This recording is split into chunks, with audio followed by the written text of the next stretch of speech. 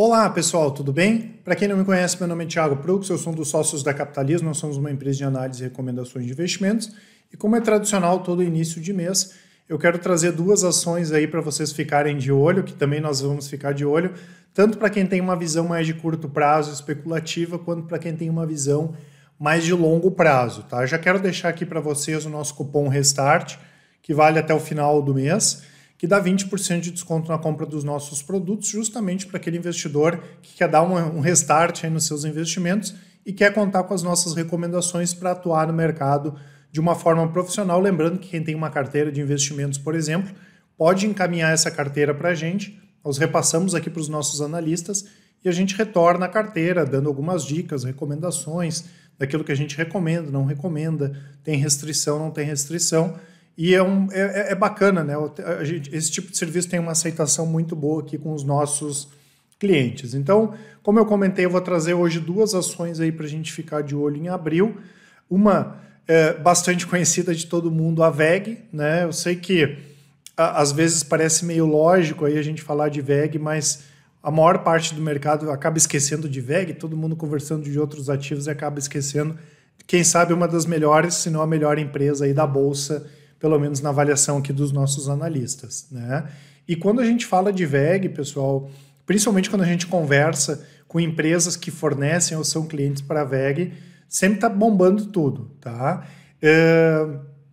E o que o pessoal aqui da análise mais gosta da VEG é que às vezes o mercado não consegue enxergar que ela consegue atuar em várias frentes diferentes e ela tem uma flexibilidade bastante grande para operar em frentes diferentes. Né? Então, às vezes, ela consegue focar na parte de energia, às vezes na parte de transmissão, às vezes na parte uh, de indústria, às vezes em tinta e vernizes, né? às vezes na indústria de óleo, às vezes naval, celulose. Então, ela tem essa grande vantagem, justamente porque ela é uma empresa global, né? ela atua no mundo todo e tem esse portfólio enorme de produtos. A gente está falando de mais de 460 produtos.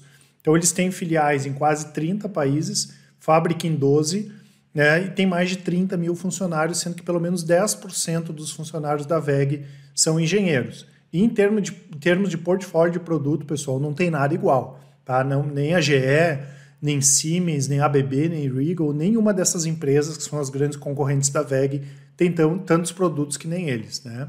E como eles conseguem, pessoal, ter, ter tantos produtos, claro que isso não é para qualquer um, né? a eficiência precisa ser grande e a gestão tem que ser de primeira linha, o que é o caso da, da VEG.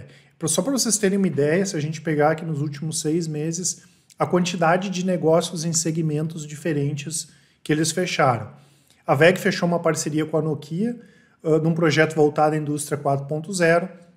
A VEG vem aumentando o fornecimento de grandes motores para refinarias nos Estados Unidos. Inclusive, a VEG deve continuar ganhando participação no mercado americano, especialmente de transformadores, junto aí a concessionárias de energias, no, de energia no mercado industrial e também em energias renováveis. Né? E a gente sabe que o Biden aí vai abrir o cofrinho para essa parte de energias renováveis. Além disso, eles têm um ganho de sinergias com as, com, em função da operação no México, então a VEG acaba tendo uma, uma posição privilegiada para competir. Já nos mercados da Europa e Oriente Médio, a VEG está concentrada em aumentar sua base de clientes e também lançar novos produtos, sendo que eles têm contratos grandes na Alemanha e França, além de fornecer motores para um sistema de abastecimento de água na Espanha. Então a VEG atua na Alemanha, atua na França e fechou esse contrato grande agora na Espanha. No Oriente Médio, eles estão mirando projetos de dessanalização, a mesma coisa né, no Chile e na Tunísia. Na China, a expectativa da VEG é aumentar as vendas de motores de média tensão e também expandir o portfólio de produtos de automação que já são produzidos por lá. Já na Índia, a VEG prevê iniciar em 2021 a produção de motores elétricos de baixa tensão e aerogeradores, né?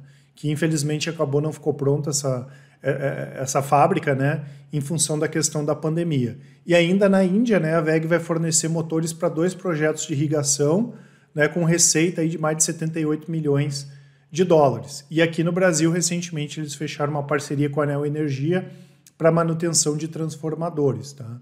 E além disso, foi concluída também recentemente a compra da fábrica de transformadores de Betim.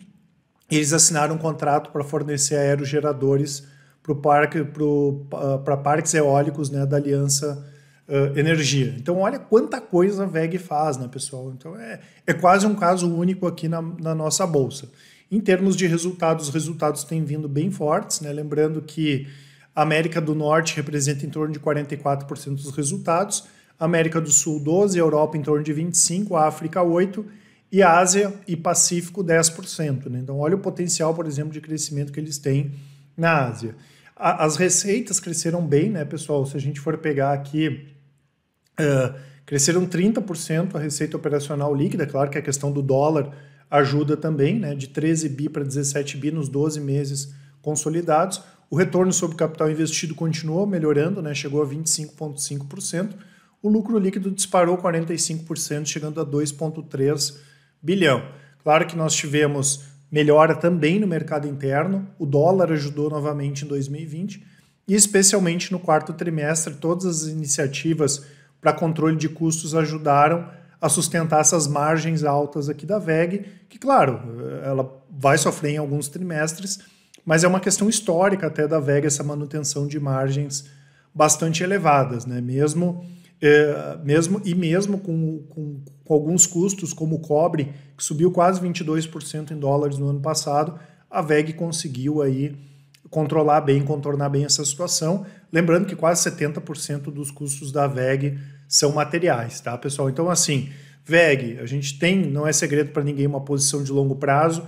Inclusive, eu vou deixar aqui na descrição a parte dos relatórios grátis, tem um relatório de VEG.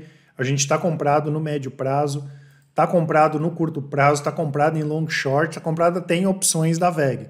Então a gente eh, identificou sim uma oportunidade boa com essa redução de preços aqui que a VEG teve na casa de 25% de janeiro até agora. Né? Graficamente pensando mais no curto prazo, ela tinha um suporte interessante aqui na casa dos 69, 70 reais, a gente aproveitou justamente para abrir essas operações mais pensando no curto prazo e continuamos gostando bastante de VEG aí no longo prazo. Tanto que no ano passado, ali em abril, quando as ações da VEG caíram, a gente reforçou a compra da VEG para longo prazo. Tá? Eu sei que parece um pouco óbvio, mas às vezes a gente tem que lembrar que para ganhar dinheiro no mercado, a gente tem que fazer as coisas que são uh, mais óbvias. Né? E uma delas, com certeza, é ficar sempre de olho aí na, na VEG, tá certo, pessoal? A outra empresa, pessoal, que a gente está bastante de olho aí é a Natura, né? A Natura também, é, às vezes, é uma, é uma das grandes empresas, às vezes, que o pessoal não comenta muito, né? Pelo menos eu não vejo muito, muitos comentários na internet. A Natura uh, é, é um grupo antigo, né, pessoal? Foi fundado lá no final dos anos 60. Eles abriram capital em 2004, eu lembro que na época eu até participei do IPO. E eles controlam aí as marcas Natura, Avon, The Body Shop e a Aesop. Lembrando que a Aesop The Body Shop e Avon são aquisições feitas aí pela Natura.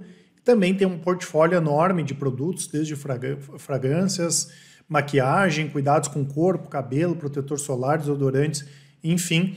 E hoje é o quarto maior grupo aí de beleza do mundo, depois da aquisição da, da Avon. Tá? A gente tem que uh, perceber também que é uma empresa bem interessante em termos de diversificação de receitas, tanto que a gente olha aqui em torno hoje de 30% é Brasil. Aí nós temos América Latina, América Latina aqui 27%, outros 2,8%. E além disso, tem toda a parte de Europa, Oriente Médio, África, Ásia Pacífico, que é quase 70% das vendas. Então, eles têm uma posição de mercado bem consolidada, tem uma diversificação cada vez maior nos canais de venda e a tendência é cada vez mais eles aumentarem no online tem essa questão de diversificação internacional e a Natura é muito forte em pesquisa e desenvolvimento. Então ela já pode aproveitar toda a estrutura que ela tem e colocar novos produtos para vender. Né? Eu, eu sempre comento que vale muito a pena entrar lá no site do INPI e ver a quantidade de pro, produtos que a Natura já tem registrado e essa parte de pesquisa e desenvolvimento é bastante importante para ela sempre se manter na frente. Tá? É claro que hoje o grande cuidado que a gente tem que ter é com essa questão da integração com a Avon, né? já que a Natura quebrou a Avon praticamente quebrada, né? a empresa estava numa situação muito complicada, mas toda a reestruturação da Avon tem saído de maneira excelente, né? tanto que os ganhos com sinergia estão acima não só do que a gente esperava, quanto que a própria empresa esperava, e aos pouquinhos ela vai desalavancando. Né? Então, quando a gente olha os resultados de Natura, o que importa hoje menos é a parte do lucro, né? porque ela recente tinha feito uma aquisição grande que tinha sido a The Body Shop, dois anos depois fez a aquisição da Natura, que hoje representa a maior parte da receita da empresa. Né? A maior parte da receita da, da, da, da, da Natura vai ser da própria Avon. Né? Então, é um negócio bem complicado essa reestruturação aí que eles fizeram. Né? E quando a gente olha em termos de receita, eles já estão entregando bem mais, né? mesmo com, com um período de pandemia. E a gente percebe isso muito no quarto trimestre do ano passado. As receitas subiram quase 20, mais de 24%, né? saindo de 9 bi para quase 12 bi, e ainda assim eles conseguiram entregar lucro, né? já que a perspectiva é que a Natura entregasse até prejuízo, eles conseguiram reverter o prejuízo de 2019 para um lucro, mesmo que pequeno, mas conseguiram reverter para um lucro em 2020. Né? Então a gente imagina sim que os próximos trimestres, à medida que o mundo todo vai liberando né, com essa questão da vacinação, as lojas reabrindo, a Natura vai começar a vender mais novamente. Tá? Não é descartado que após a Avon, toda essa integração, eles façam mais alguma aquisição, parece que eles tomaram o gostinho aí de fazer grandes aquisições, mas também eles têm um potencial muito bem, muito interessante aí de crescimento orgânico, é uma empresa que a gente gosta bastante, tá? Uh, em termos aqui, pessoal, gráficos, né, tendo uma visão aí mais de médio prazo, a Natura está bem lateralizada, né? Ela veio de uma tendência de alta boa, recuperando da crise, chegou a subir ali de março até setembro mais de 140, quase 140%, e hoje basicamente ela está no mesmo preço aqui que ela estava em julho do ano passado. Né? Lá se vão mais de 1, 2, 3, 4, 5, 6, 7, 8, 9, quase 10 meses aí com as ações da, da Natura lateralizadas. Então, cada vez ela vai formando um suporte mais forte aqui nessa parte dos 46 reais.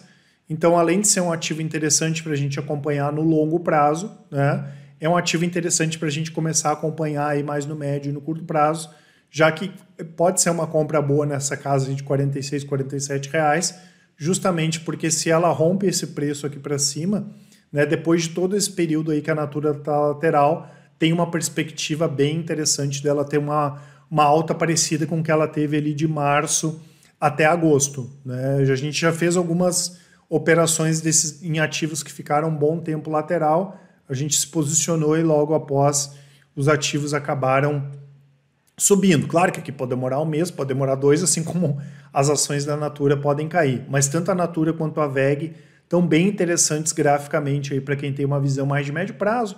Ah, eu estou falando aqui de dois até seis meses e são ativos bem interessantes para quem pensa no longo prazo. Inclusive, pessoal, para quem gosta de acompanhar aí as carteiras dos principais gestores, né? A gente pega as principais gestoras que têm mais tempo de mercado, Velt, uh, pega Atmos, Dynamo, todas elas têm uma posição aqui grande na, na, na Natura também. Tá? Então é um ativo que a gente está bem acompanhado aí nesse, nesse sentido, justamente porque o pessoal também enxerga né, todo esse potencial com a reestruturação da Avon e com os novos negócios aí que vão vir pela frente, tá certo, pessoal? E quero deixar para vocês aqui também é, no nosso produto Carteiras Capitalizo, tem um portfólio que leva o meu nome, né, carteira Thiago Brooks, que aqui tem um portfólio aí que a minha família segue. Né? Lembro que desde 2017 esse portfólio é composto basicamente né, pelas recomendações aí da Capitalizo e hoje nós temos um analista que responde por essa carteira. Então todo investidor que quiser exatamente seguir esse portfólio pode seguir e eu gosto de comentar a respeito dele porque justamente ele tem várias dessas empresas que são ativos de qualidade e que às vezes o pessoal uh, entende que são ativos caros, né? Uh, e é um portfólio que tem uh, também basicamente a carteira em ações e tem respondido bem aí nos últimos anos, né? Esse ano está com uma alta de 17%, 12 meses 103%, e o principal aqui desde 2017 a carteira vai com completar quatro anos aqui com as recomendações da Capitalizo, está com 323,83% do Ibovespa, né? Então está rendendo bem acima do mercado, tá? Então esse portfólio faz parte aqui do nosso produto carteiras, que são as recomendações do Top Fundos mais renda fixa, lembrando que o Top Fundos são recomendações de fundos imobiliários, o Invista em Ações, que são as recomendações de longo prazo, mais a parte de criptoativos aqui no Carteiras Capitalismo, vocês podem utilizar esse cupom RESTART para a compra desse produto. Além disso, nós temos o produto Full Trader, que tem as recomendações de médio e curto prazo e também as recomendações de longo prazo. Então, tem quem quiser montar carteira de dividendos, ou fazer day trade, swing trade, ou mexer com opções, long short, está tudo aqui nesse produto. E temos também o Capitalismo Completo, que são todos os nossos produtos. E como sempre, eu vou deixar também aqui na descrição, além do cupom, os nossos contatos, né, pessoal? Vocês querem tirar dúvidas? Deem uma ligada para o 4003-9127 mandem um e-mail para o contato arroba capitalismo.com.br. Quem preferir vai estar aqui na descrição o link do nosso WhatsApp. Vocês podem mandar um áudio, mandar uma mensagem que com certeza a gente vai atender todo mundo com a maior satisfação. Tá certo, pessoal? Um grande abraço para todos e ótimos investimentos. Até mais.